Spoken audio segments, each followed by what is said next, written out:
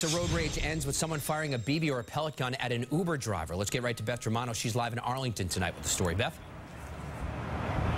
And the Uber driver had just picked up some passengers in Cambridge and was heading here down Massachusetts Avenue in Arlington when those passengers started taking on another car at a red light. And before he knew it, the driver was the victim of the confrontation. For the first shot, I just hear the window crack like this. And then the second one, I hear it.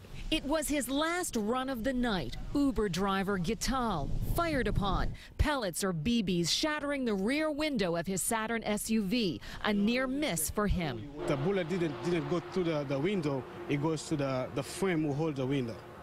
And then stop there. So if it if it was in the window today, I, I won't I won't be here. He says it started with three trash-talking passengers he had picked up, who taunted another car at not one but three red lights on Mass Ave in Arlington. The car got behind him and lashed out, the shattered glass telling the story of the angry confrontation. Next thing I know, they start shooting in my car. When he made a fast U-turn and called 911, they caught up with him, firing but missing through the driver door. I see my life like that's my last day.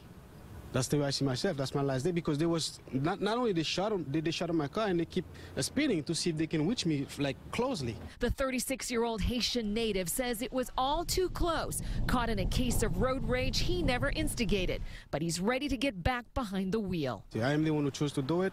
So if something happened to me today, it's happened. But thank God I'm still alive. And the driver says his wife will actually decide if he does drive for Uber again. In the meantime, Arlington police would love to catch up with the suspects in the blue-colored Jeep. Reporting live from Arlington, I'm Beth Germano, WBZ News. Lisa? Thank you, Beth.